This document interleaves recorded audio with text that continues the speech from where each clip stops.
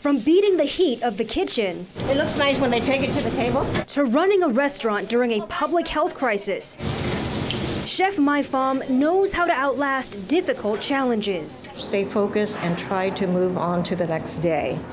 If we sit and think about how terrible it's all been for us, then I don't think that we would ever be able to or have enough strength to survive. The founder of Lemon Grass Restaurant in Sacramento rolling with the punches laid on by evolving public health guidelines.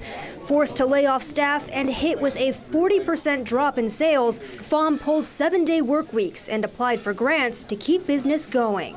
It was more survival oriented, not necessarily a new dish or new specials or anything like that, or how to kind of expand margins. And a lot of times this last year, it was strictly like treading water. crediting the customers for making the necessary difference. Many came and at least once a week and kept buying gift certificates.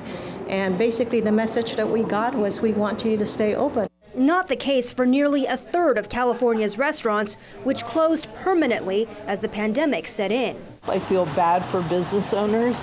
Um, I really hope this is a lesson that we take to heart. And despite Governor Newsom's plans to fully reopen the state in June, Pham says there's still roadblocks ahead. I'm not sure that we will be able to go back to 100% because I don't know if we're able to staff the restaurant, you know, you know, like like the way we staffed it pre pre-pandemic times. While demand for dine-in service goes up, It's such a relief and it's so good to get back out again. there still aren't enough people applying to work. And staff tell me that right now they're only operating Tuesdays through Saturdays from 3 to 8 p.m. because of how hard it's been to hire people. This will pass and we will overcome it. Seeing the glass half full as the state moves towards reopening.